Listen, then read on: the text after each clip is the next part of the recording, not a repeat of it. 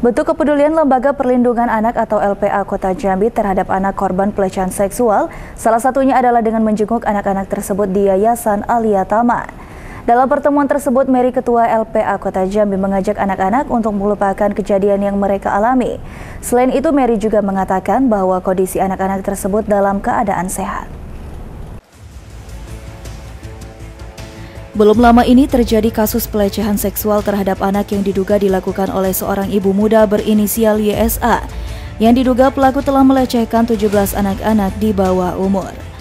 Dari kasus tersebut, sebanyak 9 anak dari 17 korban dibawa petugas khusus dari Kemensos ke Balai Alia Tama Jambi untuk menjalani rehabilitasi. Dalam mengawali kasus tersebut, Ketua Lembaga Perlindungan Anak Kota Jambi Mary Marwati menjenguk para korban tersebut. Dalam pertemuan dengan para korban, Mary menyampaikan bahwa kondisi anak-anak tersebut dalam keadaan sehat. Mary juga mengajak para korban untuk melupakan kejadian yang mereka alami dan fokus ke masa depan mereka. Selain itu, Mary juga menuturkan LPA Kota Jambi akan mengecek kejiwaan pelaku YSA di RSJ. Dirinya berharap kasus ini bisa terselesaikan dengan baik, serta pihak-pihak terkait dapat merespon kasus ini demi keamanan fisik dan psikis para korban. Alhamdulillah tadi saya juga sudah ketemu semua sama anak-anaknya karena kebenaran jadwalnya mereka mau sholat Jumat jadi waktunya juga sebentar.